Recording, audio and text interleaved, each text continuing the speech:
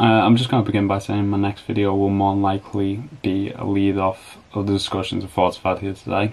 Um, I'll look at Dziga Vertov's Man with a Movie Camera from 1929, a very famous uh, piece of documentary film, just just famous as uh, Nanook North, you know, similar type film, similar era.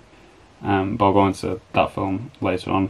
I'll bring this up in relation to John Grierson um, who I'm going to be talking about today. I was considering making the next video before this one, but I decided that it's better to just go um, and look at the highly respected and commended film director, theorist, uh, Mr. John Grierson. Just get the cogs turning on his importance for documentary film. So this is essentially just going to look at a major figure within this type of film documentary. Um, you know, he's not actually that creative a person. He's only done, he's only directed two films, but he has produced a lot more than two films, um, which I've come into contact with over the course of my course. Um, one of them being Industrial Britain, directed by John Flaherty who created the previously mentioned Nanook of the North, um, which is well known as a complete fabrication of film, but again, that's one we can go into later in the video. Um, but these two men did share a bond when it came to documentary. Uh, and that's something I'm going to go through in this video.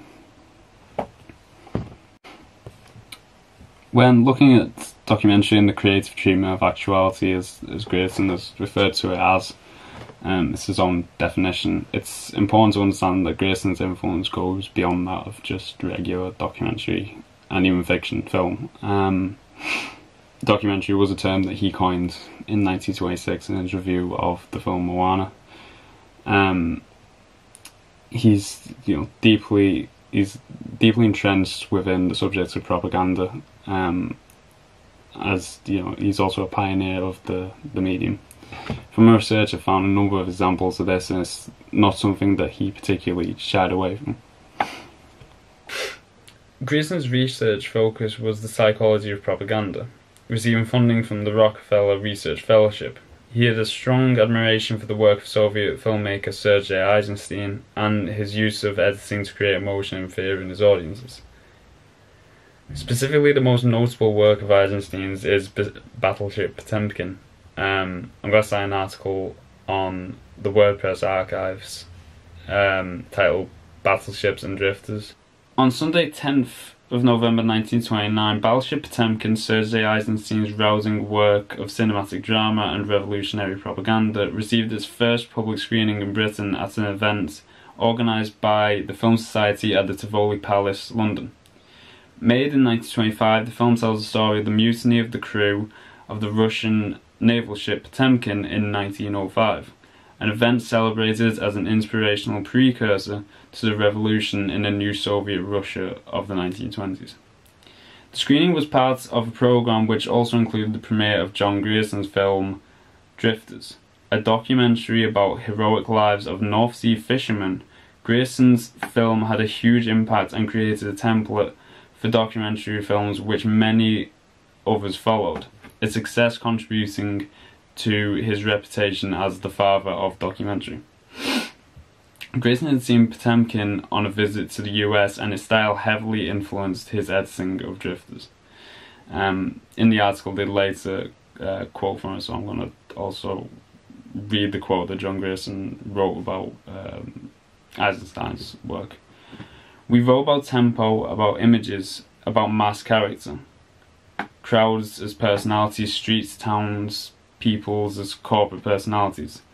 And all these things which cinema could do, the stage could not do. It appears in company with my own drifters, but I am not in competition. Eisenstein is a very great director and master of us all. So the next question is, why was Grierson so entranced by Eisenstein's film and mainly his editing?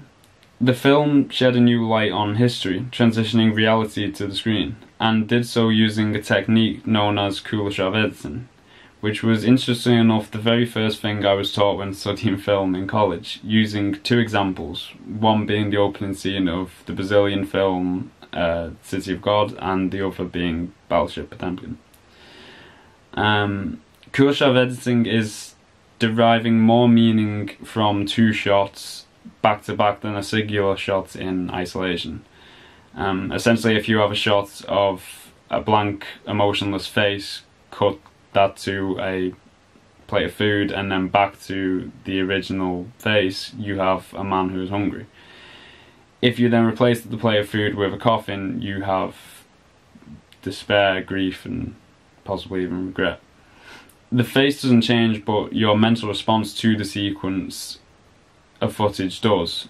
Your perception of the scene and character can easily become altered through this edit, and this is a very useful editing technique which can very easily be applied to documentary.